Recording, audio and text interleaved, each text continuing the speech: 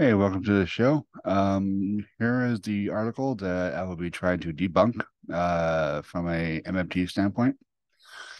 And this is 10 uh, hours ago from Connor O'Keefe, who, if I looked him up right, uh, is a, I'm not, I'm not sure a recent, but a, a graduate of Austrian economics, a master of that, apparently PhD, also uh, has a degree in um, uh, video production, I believe. Uh, anyway, so uh, the article states as this has been a rough year for advocates of MMT. No, it hasn't. After nearly two years with all the budget deficits and money printing, is not printing, MMTers could be could have wanted the the doctrine's popularity seems to be to have faded now that we've well past the honeymoon phase. Oh, let me get, that. there we go. Uh.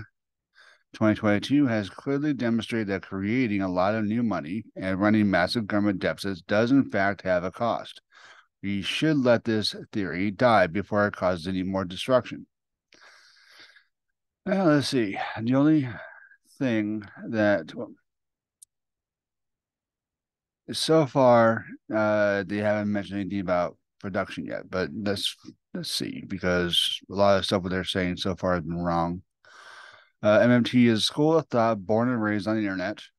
No, actually, was born and it was born from the mind of Warren Mosler, who used to be a, who was a fund manager, who used to work uh, within savings and loans in Connecticut, and who successfully owned and operated his own bank, and who created this based on his experience from capital markets.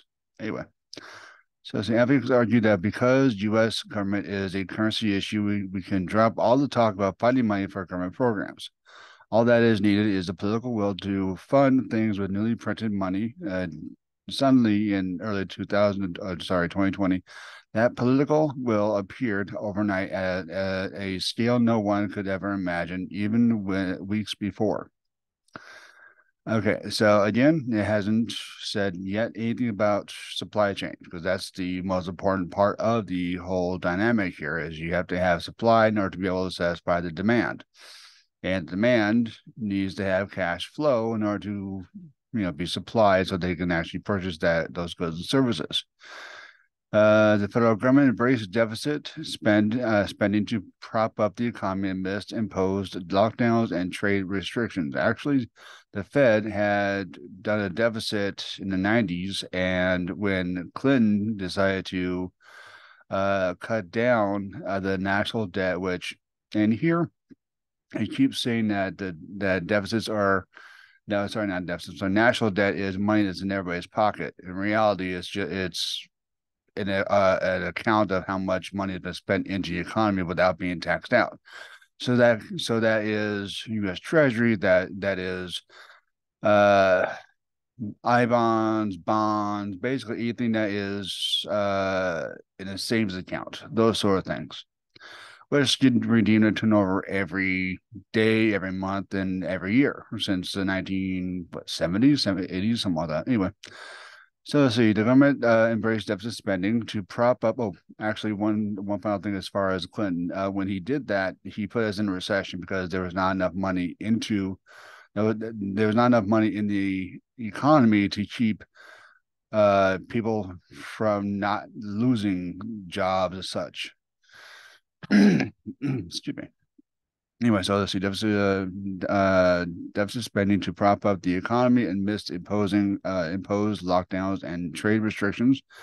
Actually, the trade restrictions was yeah sanctions and other things like that, also preventing from countries to be able to easily uh, bring in any kind of supply, and they were also down too. So this is a so this was a basically a world shutdown plus sanctions, plus COVID uh, restrictions, you name it, it was there. So it wasn't based on MMT or what MMT uh, is about. It was it was supply chain. It has been supply chain and has been supply chain. It will be supply chain for every time uh inventories of stores or retailers get down to the point where they have to put down like how much of one item you could take or purchase. Like I think Aldi's actually had a limit of say two chickens or something like that because they had an inventory, but they didn't have much of an inventory, just meaning that the inventories were coming back slowly but surely. Anyway, so let's see. Uh, now 31 months later, the national debt has increased by almost 8 trillion. It's interesting because at one point in time, everybody kept saying 31 trillion, so now it's 8 trillion. Hmm. Uh, at the same time, the money supply, as measured by M2, which is pretty much everything liquid, uh, like anything that's easily put into cash, uh, grew by 6 trillion, an increase of nearly 40 uh, percent most critics of the free market, not so free, uh, would probably classify this historic level of money printing is not printing money, unless it's for like uh, daily um, cash transactions. That's all the printing money basically as far as that part goes. Uh, debt as unfortunate, uh, as unfortunate, but be necessary response to unprecedented circumstances, but not advocates of MMT. This is what we. This wait. This is what they've been wanting all along. No. According to MMT, having uh, having concerns about the national debt is antiquated and childish. Actually, no, we haven't said one bit of that. Uh, we've said that it's a record of all monies that were uh, spent into the economy uh, that had not been taxed out. What I just said. In fact, they argued that the total national debt is nothing more than what I just said, pretty much. The money of uh, how much dollars that are in the pockets of private citizens. Nope. A higher national debt is not a consequence of MMT. Uh, it's the entire point. Nope. The pandemic was, uh, in many ways, MMT's moment. Actually, no. The moment the MMT moment will be is full employment, uh, Green New Deal fully implemented, uh, making energy costs, which is the biggest cost of consumers, uh, pretty much every year, uh, be low enough to where inflation would be at a permanent, say, two with three percent, if that. Because um, if you look at it, majority of the costs are energy costs. And if you go to renewable energy, that will help with cost it may not totally eliminate it, but it will help with cost and it will help cool the earth surface. So, you know, we don't have as much surprising tornadoes, hurricanes, droughts, you know, stuff like that. Anyway, uh, I forgot, kind of, where was that? Predictably, the historic level of monetary inflation paired with the government imposing product, production, there we go, slow down, uh, has resulted in levels of consumer price infl- uh, inflation not seen in 40 years. Well, because our production has been down for the last 40 years, which I'll get in, uh, which I'll get to in the next segment. The rate appears to have peaked in June of 2022, with the price on average at 9.1 higher than the year prior. You can't really, you can't really, um, you know, Anyway, so let's see. Uh, your prior producer uh, price infl- uh, inflation also peaked in June at 11.3. Although most MMT advocates have been dismissive of inflation, that's not something that they would have said was impossible. Actually, we've never said inflation was was impossible. We, we actually said what could cause inflation. Uh, the problem for that for them is what they think needs to be done about it. Just as MMT sees the national debt as a measure of all dollars the government created and put into the economy, deficit is what puts money into people's pockets, not not not national debt. That that those sort of things. That is just a record of, of money that has not been taxed out. Deficits get taxed out. Um, let's see, pockets tax uh, taxes are tools for government to take money back out of the economy if inflation gets too high. That's if there are too few. That, that's if there's too much money and too few goods. But with uh, 95%, um, 95% production of manufacturing goods and services, not like the crap we have now. Anyway, uh, Okay, so economy inflation too high. Setting aside how economically flawed this characterization is, government follow the MMT playbook will run into uh, political problems at this point in the cycle. It is relatively easy to convince politicians and everyday people that the government's program they dream about can be funded by creating new money and the true cost of this method. Actually, no, it's not. Because of thinkers like the author of this and the institution that uh, this author uh, represents, they are on a fractional reserve banking mindset, meaning that uh, governments run as run like a household, and that's not that's not possible, especially with a sovereign currency country like this one, Japan, UK, Canada, places like that. Uh, the biggest problem, uh, again, is the energy cost. Energy, which is because we are dependent on another country for our energy for our energy consumption. We were at one point in time a, a, a energy uh, independent, but because of policies like Trump's selling of reserves and Biden continuing that, uh, our gas and oil prices have gone up because we are uh, doing now we are doing more importing than we are doing exporting anyway, so let's see. During periods of oh wait, I'm sorry. Uh, that as an illusion that something can be uh, had for nothing, but tax, but taxes are the opposite. Everyone can see the line on their re- receipt, the amount withheld on payday, and the checks they have uh, to send to IRS each April. The economy pain is felt without any clear immediate benefit. Here's the problem every piece of policy I just mentioned earlier is all deflationary because it will put more money into people's pockets in order for that to be taxed out. Mm, or, or as I've come to kind of say, expiration dates for currency, like April 15th or other days uh, corporations have to pay for pay for things, you know, stuff like that. In fact, um, back in see during this during the post Civil War, I believe they called uh, uh, tax day pretty much expiration date for your currency. They would go around and they would take uh, what little bit of money you had left as far as for taxation. They that's what they would call the expiration date on your currency. So that's pretty much what what date your currency expires in regards to money in your account or what you owe as far as your your uh, taxable income. Anyway, so let's see the economy pain. Okay, so uh, during the periods of high inflation, there there is a general sense amongst everyday people that the same amount of money is isn't cutting it. Sure, the initial cause may be a higher money supply, but any given person will feel like possessing more money is a key to getting by. After all, prices keep going up. They're not going to react as well to argue to the argument that Uncle Sam should confiscate even more of the dollars. If MMTers thought it was difficult to cultivate the political will to inflate, uh, to inflate, they currently or clearly haven't been thinking further down the road.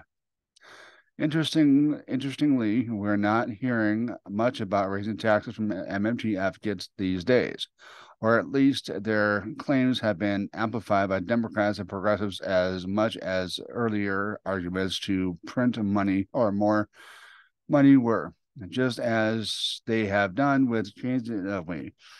Keynesianism for decades, politicians will, gra- will grab any economic theory that justifies what they want and drop it when it, when it's prescribed something they don't. And thank goodness for that. The last thing we need is more taxes.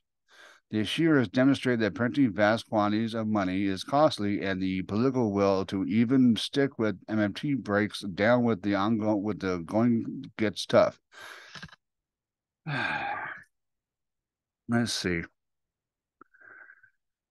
We in the next segment, I'll show you what the uh, what the uh, breakdown of manufacturing has been, but we haven't had a clear supply chain manufacturing here in the United States since the 70s. And even then, the, in the 70s, the uh, the manufacturing the manufacturing industries uh, were breaking down anyway.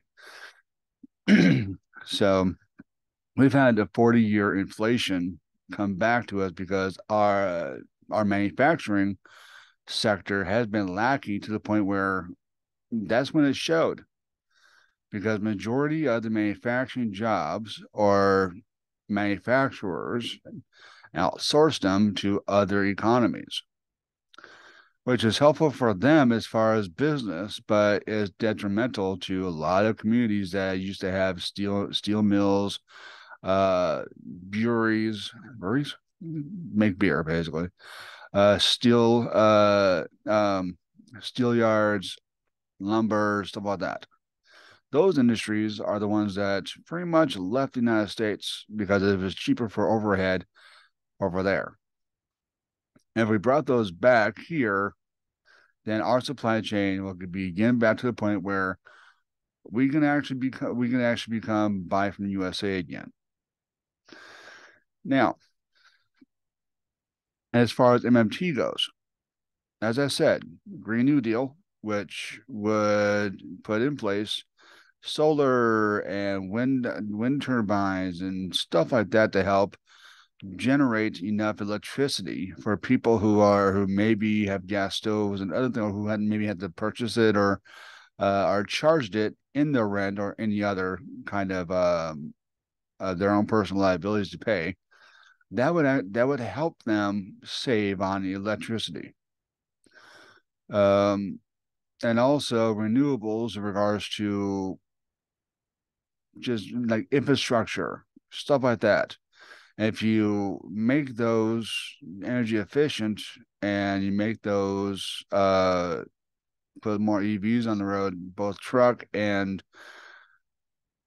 other types of motor vehicles, then you would be saving on energy, getting us off of uh, the teat, if you will, of Saudi Arabia and other gas productive uh, countries.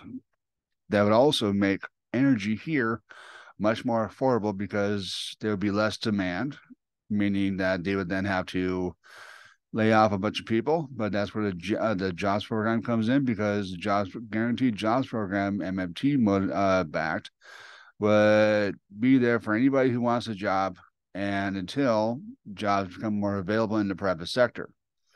They would I suspect lift the minimum wage from seven twenty five to say twenty or however much it would take to keep uh, personal liabilities at bay until jobs opened up in the private sector more. Overall, MMT is a description of what the current economic system is it allows you to also, if you know the fundamentals of it, also look at other countries and their import export rate, whether their inflation is due to those two things I just said, or if it's due to the fact that they may or may not have their own currency. Uh, if you're a currency user, then you're not in charge of monetary policy overall. I mean, you have to go to say any country that's involved in the EU, you have to go to the ECB and take out bonds, alone on you know different things in your country, or you go to the IMF with ECB's uh, help, stuff like that. Um, countries that have floating exchange rates, that have um, uh, that don't have any outside currency debts. That's another thing that makes a currency uh, a a country unsolvent or insolvent is if you owe others money that's not inside that's not in your own uh, currency because depends on how what kind of currency they have. If they have a floating exchange rate on theirs that means that their money uh goes up faster than maybe your money. So it takes more of your money to be able to pay for that which costs which basically means hyperinflation for you as far as i'm concerned. Uh, see and, and especially if you're paid. If you're paid to a currency like that then yes the value of your currency can either uh, go up or down any moment especially if you use that same paid currency within your own uh, uh, uh for for a way of exchange for exchanging for all goods and services in your own country. That means that prices for your stuff goes up and down inside your country. So it's just better to to describe prescribe yourself MMT or the principles of monetary theory. Anyway, so as per usual, um, Austrian economics, or uh, economics, especially this place, knows nothing as far as a fiat currency. They always they always look at majority of them always look at uh that has not every policy that has nothing to do with anything regarding MMT. Majority of the time that prices go up is because production has gone down, uh, depending on the price and all that. Anyway, that's what I gotta say as far as that part goes. Be right back with another segment. Stay tuned. You're watching debunking mainstream econ.